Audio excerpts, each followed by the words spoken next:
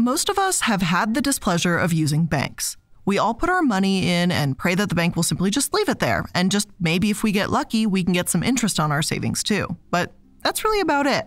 But many of us have also experienced the terrible parts of banks, like those pesky overdraft fees that insist that since you have no money, you somehow need to find a way to pay the bank extra money. Like, how in the world does that make any sense? But overall, we expect our banks to be relatively reliable, trustworthy, and fair. Unfortunately, Wells Fargo never seemed to get that memo. And if you were a Wells Fargo customer for roughly 14 years in the 2000s, you may have been unlucky enough to discover that firsthand. It could be any random day. You could be doing your laundry, watching TV, you know, just living your life. When suddenly an employee from Wells Fargo calls your phone and tells you that the worst thing possible has happened someone has stolen your account. The fraud is so extreme that they recommend you close it and open a new one. And reluctantly, you may agree. I mean, if someone at a bank is telling you that your money might be stolen and you should create a new account, you just kind of do it, right? But while they're signing you up for that, they sneak in some other things too. And just like that, you're signed up for online banking. Oh, and now you also have a credit card. What about that extra random account? Yep, you got one of those as well.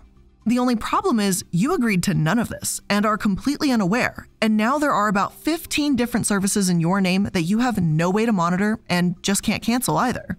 Kiss some of your hard earned money goodbye after paying for accounts that you don't need and have no use for. Meanwhile, in Wells Fargo's world, they were making bank and rolling around in joyous excitement that they had cracked the code on how to get more accounts than it was physically possible for them to have. While the executives celebrated, the employees who had been pressured to become involved in this massive scam were comparing their time with the company to literal war. So, what the hell was going on at Wells Fargo? Why were they creating fake accounts? Why was this job so stressful that their employees compared it to war? And what else has been going on with them throughout the years? Hello, and welcome to the Corporate Casket. I'm the Illuminaughtii, and today we're going to be talking about Wells Fargo Bank and the decades of scandals they've been involved in.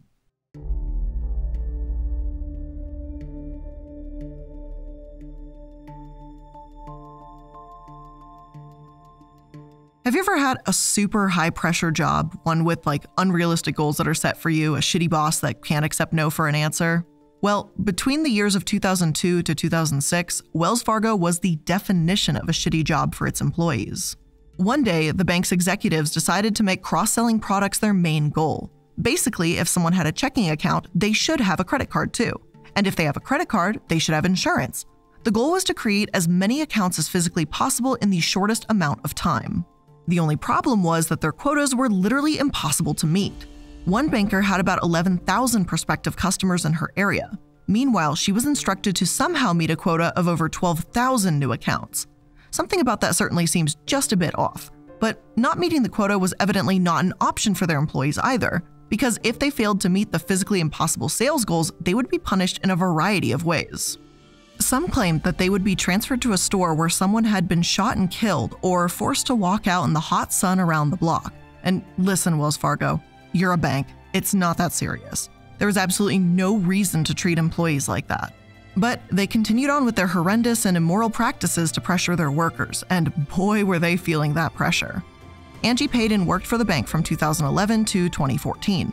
During her three years at the bank, she was having random panic attacks that were so severe that she believed she was actually having heart attacks. At some point, she had a panic attack that was so terrible that she went to the bathroom and took a drink of some hand sanitizer. She immediately felt her anxiety subdue, and soon this was becoming a daily practice. Every morning, she would go to work and drink hand sanitizer. Eventually, she was drinking a bottle a day.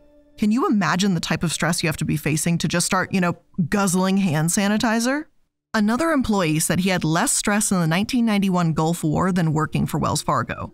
All of this happened because they wanted to meet unrealistic sales goals to boost their numbers and make it seem like they were the best bank in the world with more customers than physically possible. So, what exactly happens when you mix extreme pressure with overworked employees and threats of punishment? Well, you get people lying, cheating, and scamming to reach their sales goals. And so, the Wells Fargo account scandal was born. Desperate to meet those sales goals, people began signing customers up for anything they could without their permission. If you signed up for a checking account, congratulations, you also now had two unnecessary debit cards so the banker could make it seem like they were making more sales. Some of them would use their own contact information on the forms when setting up false accounts to avoid being caught. Meanwhile, others engaged in a practice called pinning.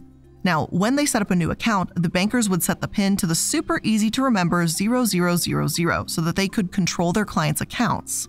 Remember Angie, the employee that was so stressed she was drinking hand sanitizer? Well, she gave the New York Times a nice and neat breakdown of the activities of Wells Fargo's bankers.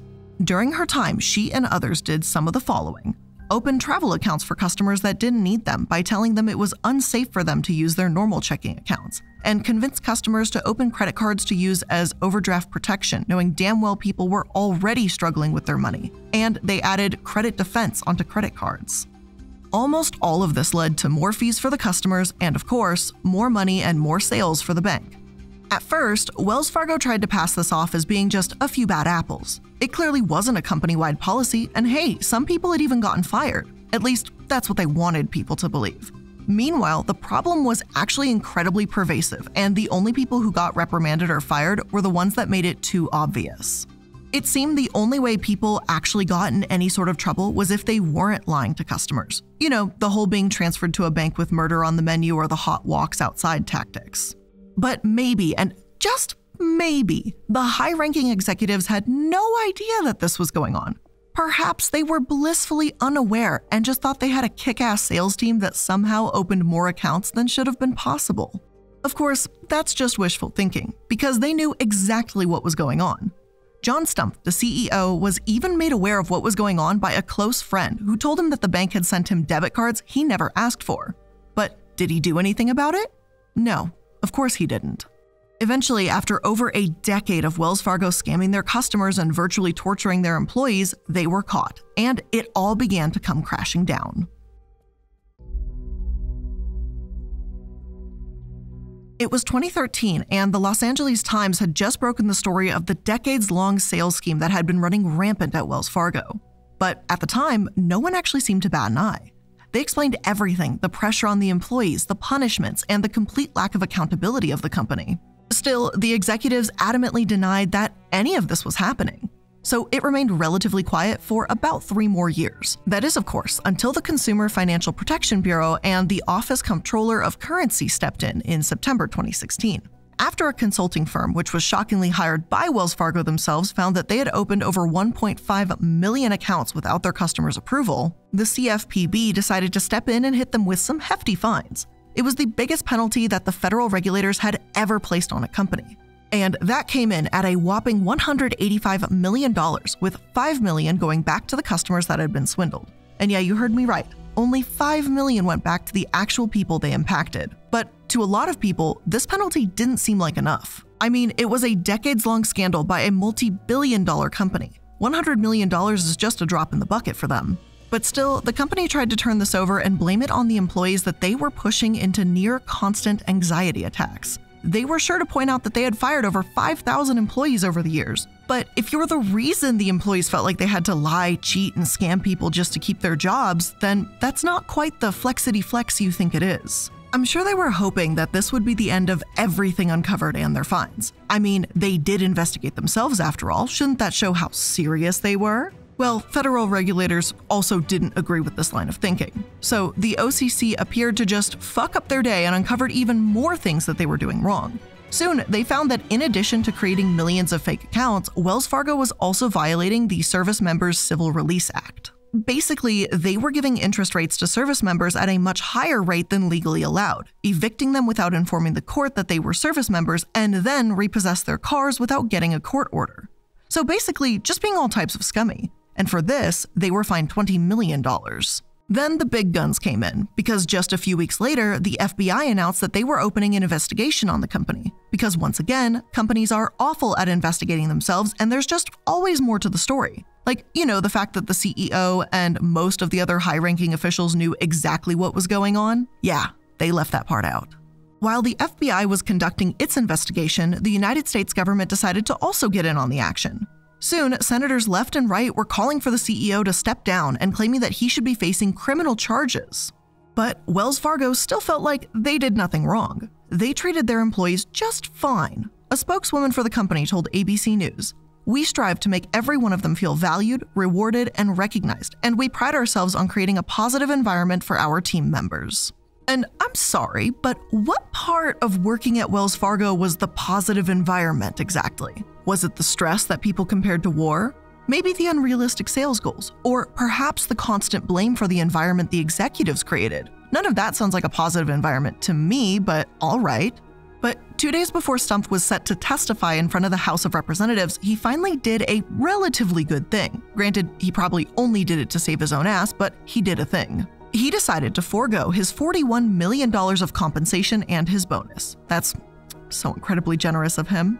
After months of appearances in front of the Senate and the House, turning over their sales practice information to the SEC and multiple federal investigations, the bank was finally hit with a fine that actually addressed the decades of malpractice. In February 2020, Wells Fargo agreed to pay a $3 billion fine for their 14 years of scamming their customers. 500 million went to the investors who had been fooled by the fake accounts. But there's more. Because during the investigation, it also came to light that while Wells Fargo had been creating these fake accounts, and of course, we can't forget violating service members' rights, they were also forcing people to buy auto insurance that they did not need and charging additional high fees on mortgages and car loans, also, they were just randomly closing people's checking accounts too. Why? So they could sell them another one, of course. Anything they could do to make it seem like they were service selling machines, they did. So basically, they were just scamming people in any way they possibly could. Shockingly, the company finally admitted to what they did and told the Department of Justice that it had put intense pressure on its sales team to meet unrealistic sales goals. Following the announcement, their CEO released a statement which said in part, our customers, shareholders, and employees deserved more from the leadership of this company. Now, as you could imagine, as the scandal finally came to an end, Wells Fargo was floundering. Its profits were down 56%, it spent about $1 billion on refunds for customers, and its hands were tied from participating in aggressive lending practices because of the scandal. As it turns out, scamming your customers for over a decade isn't actually great for business. Now, who would have ever guessed? But while this may be one of the most publicized schemes that have come out of Wells Fargo, it's certainly not the only thing or the only time that they've found themselves in hot water. So, what else has the company been up to? Racism, apparently, because that's what they've been up to for decades. Buying a house in the United States has never been the easiest process, and it certainly hasn't been the most accessible, especially for people of color. For centuries, banks and government entities have participated in racial discrimination in a variety of ways. Anything from redlining to predatory lending to just flat out denying homeownership, it's been there. Black home ownership has actually been on a rapid decline.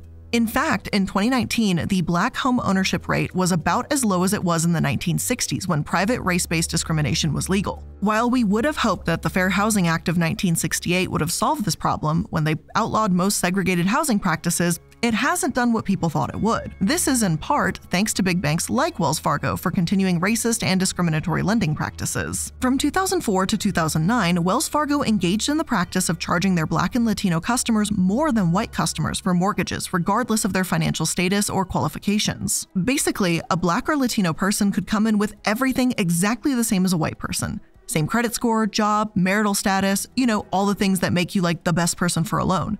And instead of doing the right thing, you know, charging people the same rates for the exact background, Wells Fargo decided to charge a higher rate and fee even during the housing boom, but only to non white folks. As I just mentioned, you can't really do that. There's actually laws in place. You haven't been able to do that since the 1970s. So what gives? Well, they actually claimed it wasn't them, it was mortgage brokers because they can't seem to take accountability for anything. Oscar Suris, a spokesperson, said, These loans are being originated under our name. If we can't control the customer experience, we are going to get out of it. But here's the thing this has been happening for five years. Just like there was no way you didn't know about your employees creating fake accounts, there's no way you didn't know about this either. Put all your loans into a nice little pretty database, which I'm sure you already have. Put together all the information for your customers. Filter by qualification similarities, race, and loan amount. And ta da! You'd see a clear difference. And that's it. That's literally all you had to do to fix it. But no, you had to wait until the government stepped in with a slap on the wrist for you to stop being racist. Do you see the problem here? In the end, the company agreed to a $175 million settlement with the US Justice Department. But of course, they didn't admit to any wrongdoing even though 4,000 cases out of the 34,000 that were investigated showed that their customers were being pushed towards higher fee loans even when they qualified for cheaper ones. Wells Fargo insisted that they treated everyone fairly and were only agreeing to the settlement solely for the purpose of avoiding contested litigation. Sure, Wells Fargo, sure. Still, $50 million off the settlement was sent off to homebuyer assistance programs that were meant to help those recovering from the recent housing crisis. Not surprisingly, they didn't seem to learn much from this incident. In fact, it seems like they actually got worse. In 2020, a man named Maurice Picard III paid over $500 to refinance his home. He thought it would be easy. He was the perfect applicant, an engineer, married to a doctor, with an 800 credit score. I mean, if all of that doesn't scream perfect financial risk, then I don't know what does. But as his loan went through the process, he immediately was hit with a few roadblocks. You see, his home was in a predominantly black neighborhood, which his loan officer said was perhaps not eligible for rapid valuation. After a few weeks of back and forths, he was told he would have to pay a higher rate for his refinancing. Then, without warning, they just outright denied his application. He's an engineer. His wife is a doctor. He had an 800 credit score. What could possibly stop the company from letting him refinance his house? Well, it turns out he was black, and that was apparently enough for Wells Fargo. That's right. Wells Fargo had moved on from offering outrageously high mortgage options to just flat out denying black homeowners refinancing options. According to Bloomberg, they only ever approved about 47% of all applications by black homeowners in 2020. That same year, 72% of white homeowners were approved. Of course, they said they found nothing wrong with the whole situation. They just said that they treat everyone the same and are simply just more selective. Yes, because a roughly 30% difference in just race statistics simply comes from your selectivity. Sure. I'm sure if I pointed out the income rates, that wouldn't prove the racism even further, right? But wait, damn it, it does. Lowest income white applications were approved more than literally all income levels of black applicants except the highest one, which was over 168,000 a year. Meanwhile, when black and white applicants had the same income status, the white families were about twice as likely to have their refinancing approved. And that's not fishy at all, right? That doesn't seem even slightly sus. But of course, they claim they're race blind. They claim that everything was consistent. Just ignore the fact that the data says the exact opposite. Their senior vice president of consumer lending executive communications, Paul Turner, and what an insane job title might I add, said that Bloomberg simply presented the analysis wrong and ignored the bank's, quote, strong track record of lending to black homeowners. What strong track record are we talking about here? The five years of predatory lending that was racially biased? Is that the one? Of all the banks in the United States, Wells Fargo was the only one that rejected more black applicants than any amount they accepted. The only one. Their years of racial discrimination have come back to bite them, with a class action lawsuit, of course. The lawsuit filed by Aaron Braxton utilized the report to claim that Wells Fargo had been participating in racial discrimination. According to his lawyers, the disparity between Wells Fargo's treatment of black American applicants and non black American applicants is significant and shocking. Mr. Braxton was given the runaround to such an extent that it took him over nine months to refinance his federally backed mortgage loan. Soon, others joined in on the lawsuit, claiming that they too had experienced racial discrimination. Shia Beckwith Simmons, who's 43 years old, fell on hard times during the pandemic, but she leaned on the CARES Act and the 12 month deferment on her mortgage payments to make it through. But when she started paying again, the bank claimed she was in default. Then, they told her she could negotiate her rate, for more money, of course. If not, she could face foreclosure.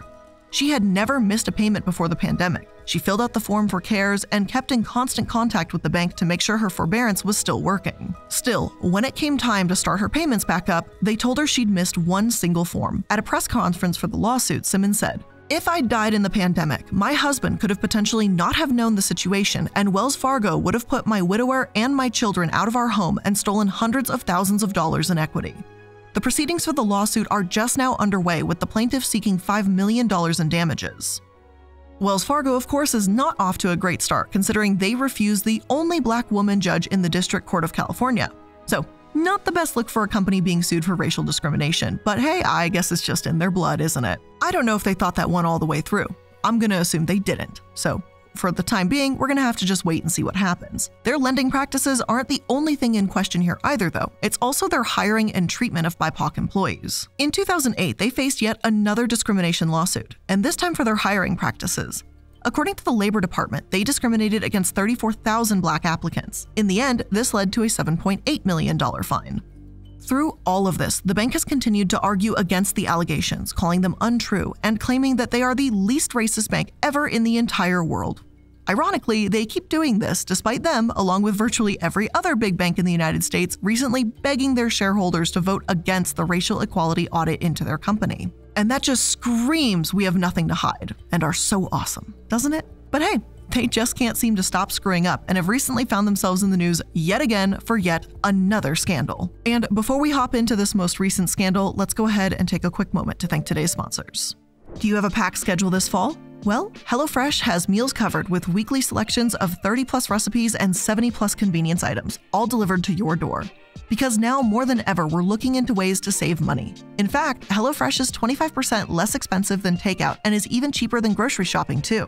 And fall is the perfect time to cozy up with some delicious sweets. Get the whole family involved with HelloFresh's limited edition kid friendly baking kits. Now, you know I absolutely love HelloFresh. I always talk about the firecracker meatballs, but may I introduce you to a new meatball? They have the banh mi meatball, and I had it, I think, two weeks ago on my menu, and it was amazing. A perfect substitute for when firecracker meatball isn't available. So if you want to get started in the kitchen and get to cooking, make sure you get to hellofresh.com slash casket16 and use code casket16 for 16 free meals across seven boxes and three free gifts. Again, that's hellofresh.com slash casket16 and use code casket16 for 16 free meals across seven boxes and three free gifts. Today's episode is also sponsored by Honey, the easy way to save when shopping on your iPhone or computer. Online shopping is the way of the future. I don't even know the last time I really go into stores anymore. I absolutely hate it at this point in time.